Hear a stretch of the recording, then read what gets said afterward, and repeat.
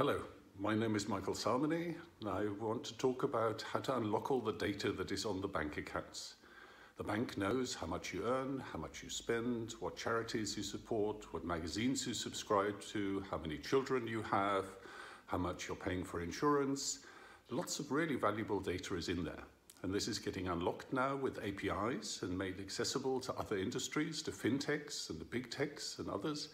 And we're going to see some really amazing transformative things, some real innovations, and also some quite surprising results.